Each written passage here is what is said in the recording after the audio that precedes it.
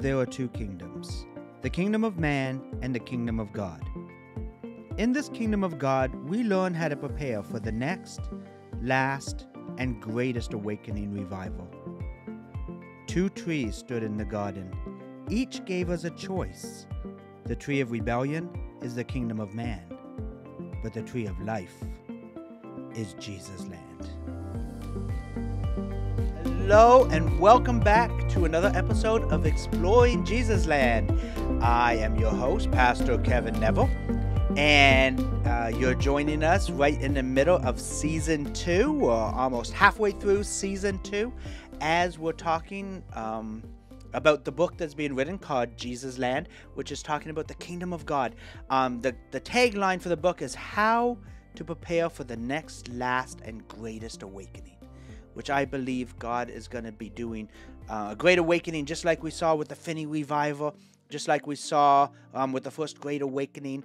Um, and He's going to be doing it through the church as we understand how to live um, in the kingdom of God. And, and, and the book is talking about four different areas of immigration into the kingdom of God. Um, and that is the hostile foreigner, the broken immigrant, the loyal citizen, and the passionate ambassador. And what each one is, and how, and we find ourselves. Where do we find ourselves, and what do we do about it? And so this horse season two um, is exploring the first part, which is the hostile foreigner. And we're talking about two kingdoms that we have a choice. So Adam and Eve, two kingdoms we have a choice in. At the beginning, in Adam and Eve, with Adam and Eve in the Garden of Eden um, there was only one kingdom. It was the kingdom of God. And it was the place where God's will holds sway. And we talked last week about what is God's will. And we talked about the word perichoresis, which was the love relationship that the Father has with the Son, who has with the Spirit. This circular dance. Perichoresis is talking about this kind of a circular dance, uh, love relationship. How God created us in His image and invited us up into that love, and that was his will. Now, we didn't become God, we stayed us, he stayed him, but we were invited into that love relationship with him because God is love. Um, and that's the way he designed it. And we see these beautiful motifs of God walking with Adam and Eve in the garden. And it was a time of love and in full relationship with God. And out of that came worship, and out of that came obedience. Well, kingdom is actually the place where the king's will hold sway, the dominion of the king. And dominion could be described as the place where the king's will is. But now God gave humanity authority on the earth. Therefore, he gave them, they were made in his image. God has the power of choice. Um, and God gave humanity authority to make those choices because love calls for choice. Um, so last week we talked about the will of God, which is the foundation of the kingdom of God. But now we're going to see the, the kingdom of man usurp the kingdom of God because he gave us authority to make that choice, and we made that choice. And that choice was for all will to, to hold sway. And because of that, the kingdom of God doesn't dis, dis exist because God is, you know, the earth is the Lord's and the fullness thereof. Um, but however, we didn't have a choice anymore. We had the kingdom of man. We had no choice to return to the kingdom of God because of sin, and the punishment of sin is death. So there was only one kingdom on this earth the kingdom of man. So it went from being one kingdom, the kingdom of God on this earth, one kingdom, the kingdom of man, and that should have been the end. God should have said, okay, well, let them live and die, or even wipe us all out, start again. He could have. But love called for a rescue plan. And that's what the Old Testament is looking. But right now we are called, we are part of the kingdom of man at this point, point of the story. And that is hostile to the things of God. Romans 8 says that the mind um, of this world, the mind apart from Christ, is hostile to the things of God. We're foreigners to the kingdom of God, and that makes us hostile foreigners. Um, so last week we talked about the will of God that made the kingdom of God. What is the will of man, mankind, that makes the kingdom of mankind? And that's what we're going to talk about today, chapter 13, called The Power of Choice. We're going to begin with the quote that I've said many times before. We'll say it many again. It's one of the thesis statements of the book. The greatest gift God gave humanity, other than the blood of Jesus, is the power of choice. And we're going to get into it to see that the blood of Jesus was given, the greatest gift God gave humanity. The reason it was given was why. So, once again, just like they had in the Garden of Eden, we would have the power of choice. The blood of Jesus ushered in a place where we again can choose the will of God or our own will. Now, Joshua knew this power of choice when he advised the people entering the promised land. Um, they were coming in, finally getting everything God had for them, everything he had promised through Abraham and through Moses and through this whole um, season of waiting. In Joshua 24 15, as they're entering, he says, But if serving the Lord seems undesirable to you, then choose for yourself this day who you will serve, whom you will serve, whether the gods of your ancestors served beyond the Euphrates or the gods of the Amorites whose lands you are living in, living are gods of our own creation, are gods um, of our own will, the will of man, mankind. But as for me and my household, we will serve the Lord. So what Joshua is doing is saying, I am choosing, my household is choosing the will of God. You choose. The choice to follow God's will well, it's not an easy one. It requires a proverbial leap of faith and a trust in God. It's quite literally proverbial because we're going to read from Proverbs. Uh, Proverbs 3 5 and 6 says, Trust in the Lord with all of your heart. Lean not on your own understandings.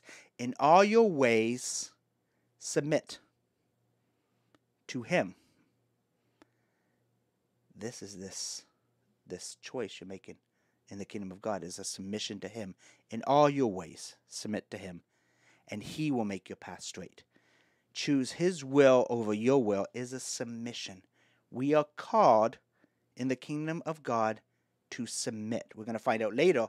We're also called to submit one to another. That's part of what this love is. Um, Trust in the Lord with all your heart. Lean not on your own understandings. In all your ways, submit to Him, and He will make your path straight. Um, again, that's choosing His will over ours. The choice is the same that Adam and Eve had in the garden. It's quite literally the choice between life and death. We saw the choice between the two trees the tree of life, the tree of the knowledge of good and evil, which eating from it was rebellion from God, the punishment of which, which is the action of which is sin, the punishment of which is death. Life or death. Um, and we see that explained even further. You know, I lay before you life or death. Choose life. Um, and we're going to see that the choice is the same Adam and Eve had in the garden, quite literally, life or death, in Deuteronomy 30 19. Um, this day I call the heavens and the earth as witnesses against you. So we're seeing this whole cosmic display. Kingdom of heaven is up there, the kingdom of man is on earth. They're the witnesses against you because God is setting before you life or death, blessing or curse. So let me read that again Deuteronomy 30 19. This day I call the heavens and the earth as witnesses against you that I have set before you life and death, blessing and curse. Now choose life so that you and your children may live. This choice will be a lifestyle choice. It's not just a one time choice. Often we talk about the, the sinner's prayer or the prayer of salvation. It's just one time you make this choice, the choice is done but the choice is a continual calling to live that choice. Um, not just a one time thing, it's a choice to immigrate to and to live in a different kingdom entirely than the one we are born into. Matthew 6:33 says, "But seek first the kingdom and his righteousness, and then all these things will be given to you as well." When you choose life, you choose blessing. Um, that reflects Proverbs 3, 5, and 6 when he says, Submit to him and he will make your path straight. Seek first the kingdom and his righteousness, and all these things will be given to you as well. You have everything you need in this new kingdom. And that would be blessings. Um, we don't do it because we want all these things, and that's a means to the end. We do this, and we see that in that we have all the blessings that God created us to have, uh, which is not cars and houses and, and, and great bank accounts. And it's great if you get those and you can be blessed to it. But oftentimes that will be the cart being put before the horse. Paul says, I've had great riches, I've had nothing. It's all good. Nothing is, is greater than surpassing love of being in Christ. So, why did God give us this choice in the first place? it seemed kind of messy. You know, why didn't God just He wants this perichoresis relationship? Why didn't He create a, a, a, a creation that was predestined to choose Him? Um, to choose that love relationship, he could love it. Why? Why go through all of this and to think, well, it doesn't cost him anything to do it? Well, it did. You know, when we look at Jesus, what did it cost him? You know, think of Thanos. You know, what did it cost you? It cost me everything. you know, um, wait, here we see why did God put himself in that position? You know, give us that choice in the first place. Well, let's review what we set up as foundational. That only choice could lead to a genuine love. We talked about the perichoresis relationship last week, whether it's the Father loves the Son, that loves the Spirit, who loves the Father. We're invited into this, into this love. We're invited into it. That's the key point. We are not made to come into it. This is the way we're made to be, but we're not forced into it. We are we get to choose. Will you come? I will be your God. You will be my people. I'll be your father. You'll be my sons and daughters. We want you into this love relationship. Will you come? And that is the foundation of what love is that only choice could lead to genuine love relationship. However, to truly understand this and to actually live in it, we must both both understand and experience God's love for us first. So, in other words, until we are in this love relationship with God, we can't have this love that God wants us to share with, with others. God chose you, even though it might have seemed maybe not the smartest choice. Why did God choose you? Why did God do this? That doesn't seem like a very smart choice, especially since Adam and Eve did what they did. God, you could have saved yourself all that trouble. That's not a very smart choice you made. But 1 Corinthians 1.27 says, But God chose the foolish things of the world to shame the wise. God chose the weak things of this world to shame the strong. Why did God choose to love me and give me choice and have that relationship? Well, sometimes he seems to have chosen the foolish things, but for his own purpose and will. He made this choice for you even before you were created. So it wasn't just a spontaneous choice he made. Oh, I wish I didn't make this. No, even before you were created, he knew he was going to give you these choices. He knew he was giving Adam and Eve, but you also the power of these choices. 1 Corinthians 1.27, but God, oh, I read that. Ephesians 1, 3 to 4. Praise be to God, the Father of our Lord Jesus Christ, who has blessed us in the heavenly realm with every spiritual blessing in Christ. For he chose us in him before the creation of the world to be holy and blameless in his sight, in love. When you say that's a verse about predestination, no, no, no, let's, let's put that aside. This is his will for you he wanted you and has called you and has chosen you before the foundation of the world, that He wants you to be holy and blameless in His sight as a citizen of the kingdom of God in love, brought into this perichoresis relationship. And this choice wasn't just to save you, but to bring you into His own kingdom in honor. 1 Peter 2 9 says, But you are a chosen people, a royal priesthood, a holy nation God's special possession, that you may declare the praises of him who has called you out of darkness, the kingdom of man, into his wonderful light, wondrous light, kingdom of God. Perichoresis is a relationship of being invited into the love of God, and this is his will for all mankind. However, the kingdom of man rose up when humanity chose their own will instead. So what does God what is God's choice then? The greatest gift God gave us, other than the blood of Jesus, was the power of choice. And the blood of Jesus was given so we again could have the power of choice. We're made in God's image. As He made us, is because of who He is. So God Himself, obviously, has choice. And what was God's choice? Was it to let us go down to death because of the choice we made? He could have. Some may argue he should have. That would have been the wise choice. Nice and easy. Wipe them out, start again. Wipe them out. They chose, choice is made, justice is done, nice and clean. Earth could have been formless and void again. He could have created it back out, given another species another choice. There would have been a mercy, some would say. And, and you can kind of look at the flood and say, well, that almost happened at the flood. Um, but through it, he saved Noah and his family. Um, and, and if he didn't, just think Noah and his family, if it wasn't for them, he could have just wiped them, everybody out, started again, and he wouldn't have to had gone to the cross. He wouldn't have to have gone through that suffering.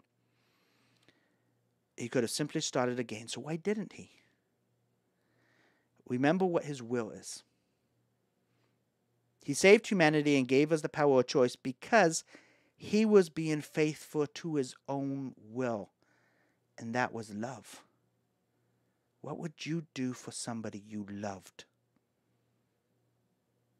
Would you go through all that for somebody you loved? The cross and the resurrection reset our choice. He shed his blood to make our immigration possible to enter the kingdom of God, returning the kingdom of God to this earth because we had a choice. We had the king. He was in the midst of us. He was kingdom of, of God is in the midst of us. It's in us. It's in our midst. And we talked about that in season one. Um, but he shed his blood to make our immigration possible to enter the kingdom of God, and his resurrection to return the kingdom of God to this earth in all of its authority. We see this in the salvation journey. Romans 10:9 says, If you declare with your mouth Jesus is Lord and believe in your heart that God raised him from the dead, you will be saved. This is sort of the premise of the salvation prayer. I'm saying that if you say it, Jesus is Lord, you're making that declaration, you believe it in your heart, God raised him from the dead, you will be saved. Um, when we pray this, we are making a choice. And so often we kind of get the concept well, if you just pray, you ask Jesus to be your Savior, your personal Savior who'll forgive your sins, if you ask forgiveness for your sins, and that's done. But what the salvation prayer really is, is just a verbal response to making a choice to immigrate, to begin a different lifestyle with a different Lord in a different kingdom, and submitting your will so it begins there, but it keeps going. We're going to do a chapter next season called The Journey of a Thousand Miles um, that's going to really talk about that. When we pray, what we saw in Romans 10 9, we are making a choice not just that Jesus will be our Savior, but that He will also be our Lord. We're choosing Him to be our King. And this is the big difference. A lot of people will say, Oh, I'm okay with Him being my Savior, but I want to remain my Lord. I want to honor him with my lips, but my heart is far from him. I want him to be my God, but I still want to hoard my will and my, um, I don't want to put my submission under anybody. And that that's a problem we have with the church. That we say it with our lips, but in our actions we want to keep our own will. And that's not what he's called us to. The choice is not just an emotional salvation, it's entering into his kingdom and his will. We return to the place where the king's will holds sway. And our choice re- remains the same as Adam and Eve. His will, tree of life. Our will, tree of the knowledge of good and evil. What will his will produce in our life now if we choose it? What will the consequences be of choosing His will? Well, first of all, we, we know that it's His desire that all humanity make this choice um, for His love. First Timothy uh, 2 3 to 4 tells us that. It's God's will that all be saved and come to a knowledge of the truth. Um, his will would lead you to the process of sanctification. Uh, we talk about going from, you know, the hostile foreigner to the broken immigrant to the loyal citizen to the passionate ambassador. But really, that is just another way of saying we are being made into the image of Christ, because this is who Jesus was. He was, you know, a loyal citizen of God. Uh, he's the king, but he showed us the way on the earth, saying, Not my will, but your will be done. He was a passionate ambassador for God. He had that passion. Um, we even talk about the cross of resurrection being the passion, the, the, the whole week. Um, so he showed us the way, even though he himself was the king. Um, we call that sanctification you know we are saved we are in the in the kingdom of god but there's a process where we're being made into the image of god which our mind is changing. We're getting the mind of christ. We're getting to the habits of christ. We're getting the heart of christ. We're getting that passion to be called to go out into the whole world and preach the gospel. And that's the process process of sanctification is the process of being made in the image of christ being made to call further and further into the kingdom of god. Um, this is growth in your citizenship in the kingdom of God as a loyal citizen. Uh, that is done simply by becoming more like Christ by the power of the Holy Spirit at work in your life, which is all connected to being in that relationship with God um, and what we're being called to. First Thessalonians 4 3 says, This is good and pleases God our Savior, who wants all people to be saved and come to a knowledge of the truth. Um, Oh, I said before that was First Timothy two, three, and four. I don't have that listed there, so read that. That's awesome. But what I said before was First Thessalonians, First Thessalonians. It's a tongue twister. Four, three. Um, his will will lead you to become. So that's how we become um, a loyal citizen. But he says even more. I want you to come in further um, in this sanctification, this discipleship process and that I want you to be a passionate ambassador. I want you to become passionate to tell the world what he desires to choose his love about how they too could immigrate into the kingdom of God. This is the same passion Jesus had in telling us when he came and said, Repent, for the kingdom of God is at hand in Matthew 4 17. Not only will he put that same passion in you, but he will equip you to do this good work that he designed for you to do. Um, you will now be called to become a passionate ambassador for the kingdom of God, sent back to the kingdom of mankind with the good news of the gospel. Hebrews 13 20 to 21 says, Now may the God of peace, who through the blood of the eternal covenant brought you back from the, from the dead, our Lord Jesus Christ, the great shepherd of the sheep, equip you with everything good for doing his will and may he work in us what is pleasing to him through Jesus Christ, to whom be glory forever and ever. Amen. This will happen from the moment you make the decision to follow Christ as your King. A decision, by the way, that is not just an emotional, momentary prayer. It might be an emotional prayer, but that's just a starting place but it's the first step in a greater journey that requires your heart, your soul, your mind, and your strength. What is the greatest commandment? Love the Lord your God with all your heart, soul, mind, and strength. And through that love, you will love your neighbor as yourself. Luke 9:23 says, Then he said to them, Whoever wants to be my disciple must deny himself, take up his cross daily, and follow me. To me, that is the best salvation verse there is. Luke 9:23. Then he said to them, Whoever wants to be my disciple must deny himself, deny themselves, take up the cross daily, and follow me. I think this is a beautiful verse that really sums up going from the hostile foreigner to the broken immigrant to the loyal citizen to the passionate ambassador, because that's what Jesus, the path Jesus showed us. Call it sanctification, call it discipleship, call it immigration into the kingdom of God. It all comes down to the, whole, to the same thing being imitators of Christ. So, in conclusion, we have a choice to make.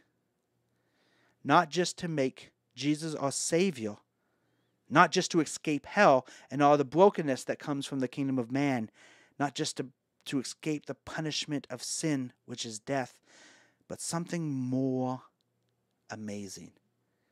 We have been given the power of choice. The blood of Jesus gave us the power of choice. We have a choice of what king we want to follow and what kingdom we want to belong to.